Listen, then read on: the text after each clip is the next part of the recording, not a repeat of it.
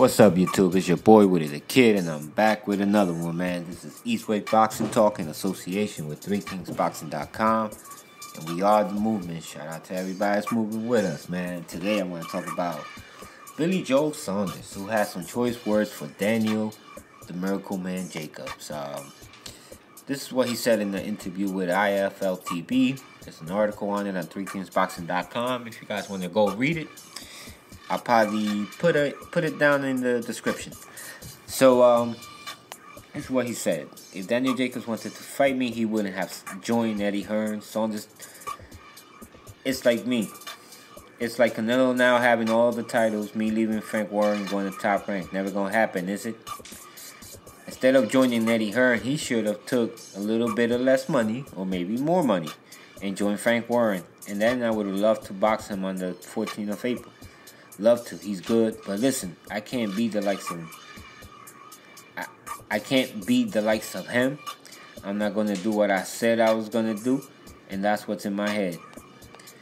To be honest with you, I couldn't get two shits about Jacobs. Saunders said, Yeah, he's good, but one million percent I'm better. so if they can't work it out between them, meaning Warren and Hearn, I would love to make it happen. He don't sell ten tickets in America. That's why he's the he's with Eddie Hearn. You know, if they can make it financially work viable for both of us, then I'm sure that me and him has not got a problem fighting each other. One million percent. Uh, that part he's right. Uh, Daniel Jacobs will probably fight him.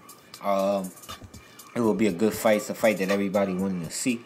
My whole thing, all the shit that he's saying, ticket sales, all that shit, I don't want to hear about none of that, man at the end of the day, this is what I want to hear. Like, yeah, I'm gonna fight him. What the fuck you talking about his promoter? Why don't you just come out and tell the damn truth? The truth is, like Jacobs' manager who shot back today said, the truth is, you ain't a Canelo Golovkin winner. So you're gonna, you're not gonna take a risk. Why? Why would you? That would be stupid of you. You're definitely not gonna take a risk, but you're weighing on Canelo Golovkin. So at the end of the day, I understand that you making a business decision, but why try to go fuck some with somebody else, throw shit on somebody else saying that you one million percent better? You're nah, man. Fuck that, man. You guys, both of you guys are very high talented fighters. It would be, in my opinion, a very interesting fight. But why bring up Eddie Hearn or Frank Warren. You should. The promoter works for you. And that's exactly what Daniel Jacobs' manager told the media today. He said, listen, Daniel's his own boss. Why is he talking about this or that? Um, if he wants to fight, we could fight. The only reason he's saying all this shit is to cover it up, blah, blah, blah. So it is what it is, man. At the end of the day, I wonder if Billy Joe Saunders really wants to fight a Daniel Jacobs. Um, will he fight a Daniel Jacobs? I'll be honest with you, I, I think so because I think if Canelo Golovkin was not there, then it's a different story.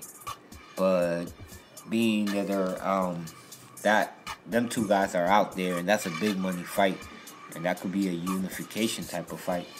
So it, it is what it is, man. Um, and I'm gonna. I'll tell you what. I'll tell you what, man. I would say this. He's right about the ticket part. They could fight in England. Um, Daniel Jacobs isn't the biggest draw. Talented, yes, not the biggest draw. So they could fight in England, though. They could fight where you know, where it makes sense to make for both guys to make money, and he knows that. Uh, Frank Warren, and Eddie Hearn, yeah, they do have a few. They seem to not really like each other.